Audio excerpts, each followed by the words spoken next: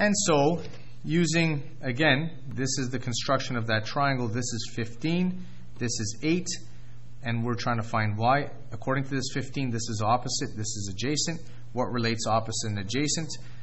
What relates opposite and adjacent is tan.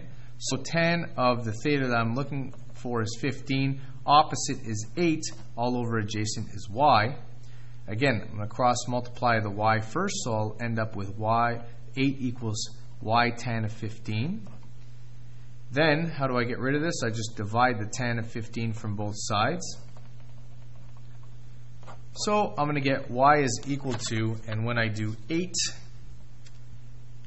divided by, remember it's tan of 15, I get 29.86.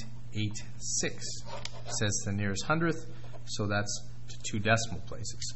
Okay, so you got to understand how to use the um, Pythagorean theorem, how to use uh, 90 degree triangles and label them, know what an angle of elevation